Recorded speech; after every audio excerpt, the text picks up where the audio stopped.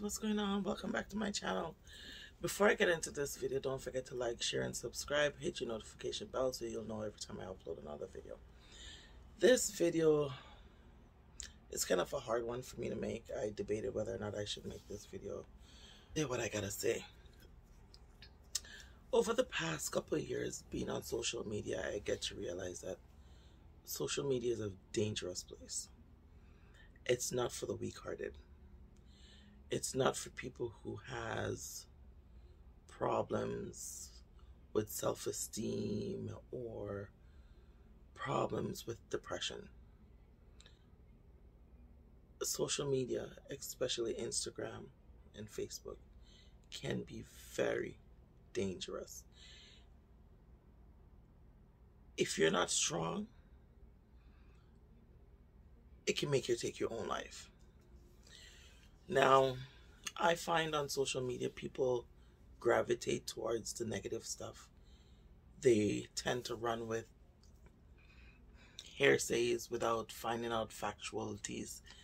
They tend to feed off what other people have to say in regards to people.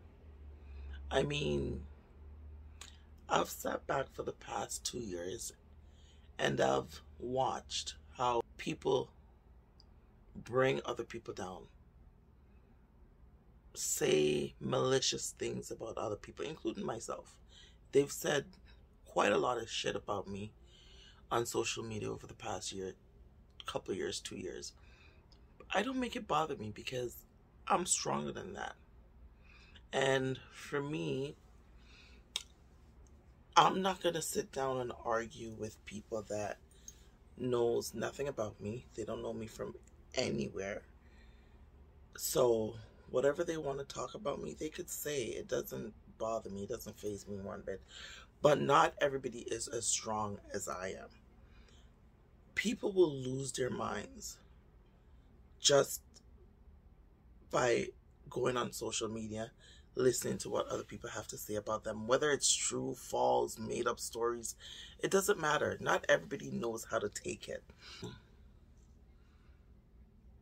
In regards to the spice situation, I've been following all the stories that have been coming out on social media. I've read them and my thing is when she was nominated for the Grammys, like yeah, it went viral. Yes, people were talking about it, nominated, because we've seen it out there, right, on multiple platforms. Now, this situation about her being in a coma, on life support, and the whole shebang. Now, I find people are so quick to run with negativity without hearing or finding out the facts.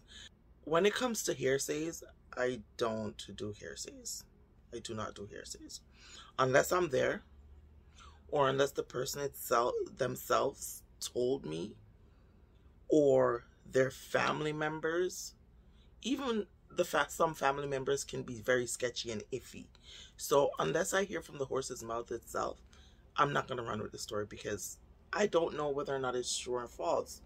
With everything that's circulating on the internet in regards to Spice and her health and so-called surgery and all that, and people are running with it and saying, yes, this is true. They heard from credible sources, Ray Tay blah, blah, blah. How credible are these sources? Are they related to her? Were they there when it happened? No. So until Spice comes out or an immediate family member comes out and say, okay, this is the situation with Spice, it's all hearsay. We don't know for sure. Right? But people are so quick to judge. I read one article where they're saying, oh, she didn't have to go do no surgery and that she's wasting her money and it's her money. It's her body. If she decides that she's not comfortable in her body and she decides to go do surgery, who are we to judge? Spice didn't put it out there on her Instagram page or Facebook or any platform at all saying, oh, I'm going to DR to do a tummy tuck or I'm going to the DR to do this. No, so we're all just speculating right now that she went to the Dominican Republic to get surgery done. We don't know this for sure. So for every platform that's running with the stories, oh, she's in a coma, oh, she's dying. This one lady, I can't remember her name, she came out and she's saying she did her investigation and she heard from good sources that, you know, she, she the she's in a, a bad state and the the family needs to prepare to airlift her from the DR to the States. Now, my thing is, Spice has her money. And I'm sure the family knows that if she's in this situation where her life is at stake, I'm sure she has more than enough money to fly back into the United States of America, get better medical care. I'm sure that's one of the first things they would think of the family or whoever is, you know, overseeing her health. That's the first thing that they would think of. Yes, even though when you're in a certain situation, in order for you to to travel or medical attention, you have you you know you have to be in you have to be stable enough to make that journey. Right? So I think instead of coming out with all the negativity and the judgments and the who say or who she say or whatever source they're getting their information wait for spice or her family to come out and say something. Because for all we know this is another publicity stunt for her to drop an album. Because she fooled us before a lot of people were running with the story oh she bleached her skin she did this she did that when really it was just gimmicks in order to drop her album. So how are you or how are we not so sure that this is the same situation? And the thing that bothers me, the, the part about this story that bothers me the most is the fact that where Minister Marion Hall, aka Lady Saw, now you're in church and you're supposedly a woman of Christ, a born again Christian, a pastor, somebody who should know right from wrong. And the video that I saw where you're in the mirror and you're playing your song, keeping in mind I love that song. I think it's an awesome song. It's a great comeback song. And you're fixing up yourself. To me, that's you sh throwing shades. I don't know for anybody else, but I personally think she was showing throwing shades at Spice because the way she was carrying on, she was showing her body as if she's saying, "Look at me, I'm I'm sexy. I didn't have to do surgery. That's fine. To each his own. Like, if you are not comfortable in your skin and you decide to do surgery, go right ahead. If you have the money to do it and you can fund it, go right ahead, do it. But don't knock somebody else for doing it all because you didn't do it. Who gives you that right? So, as a Christian person, that is just grimy. That is just some a next level of throwing shades. I did not. I'm not going to say I did not expect that. I somewhat kind of expected that from her. But with, on the same note, I expected better. I expected her to come out and if this was the if this situation is true, come out and put all differences aside, you being a pastor and get social media into prayer and fasting over this lady's life. But for you to come out and blatantly throw shades like that, girl. I don't know the lady from nowhere. I just like her music. I like her vibes. I think she's a straight shooter and I love that about her. But to me, that was just, that was not even throwing shades. That was dashing shades. And another thing that puzzles me is the fact that the Jamaica Star always, they're always the first ones to run with the bullshit. And I've searched everywhere. Maybe I missed it, but I've searched everywhere. And they didn't bust the story. They had nothing to say. And for them not to say anything, it just leaves me to believe that this is just some fake bullshit.